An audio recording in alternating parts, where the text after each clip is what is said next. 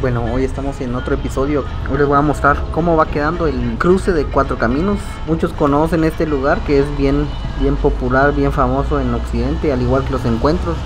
Son bien conocidos por casi todos los guatemaltecos. Entonces venía por la ruta interamericana y vi que donde nos desviamos para ir a la circunvalación que nos saca al monumento al migrante de Salcajá. Cuando vi ya estaba abierto la vía como que para ir para Totonicapán y agarrar cuatro caminos y ya, ir para Huehuetenango. Entonces, de manera improvisada decidí, saqué la cámara y me puse a grabar.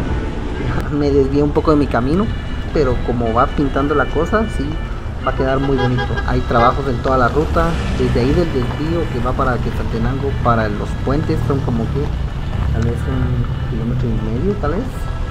Así me, me corrige en los comentarios, pues bienvenido también. Entonces el tráfico sí está intenso. Si pasan por este lugar es de tener paciencia.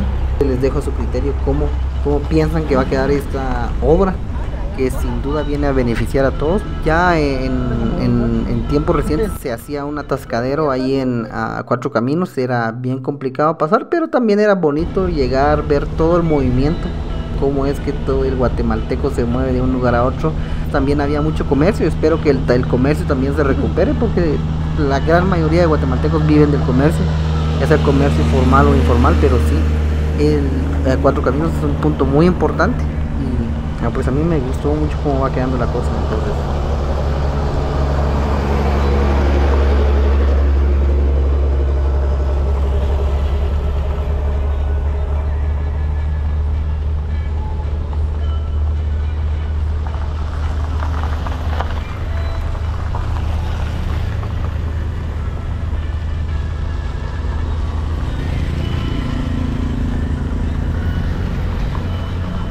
otra batería allá.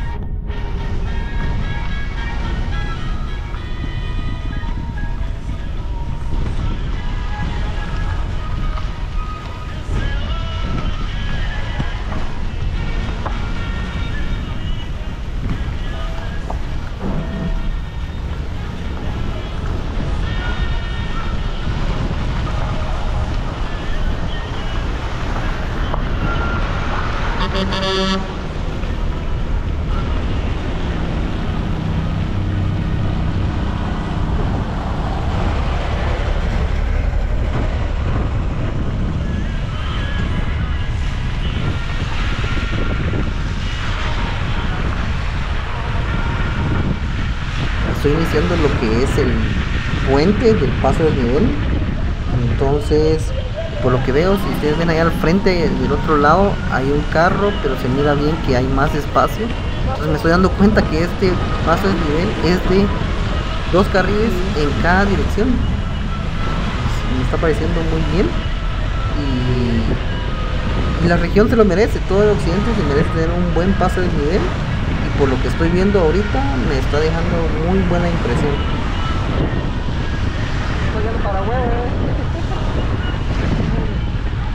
Thank you.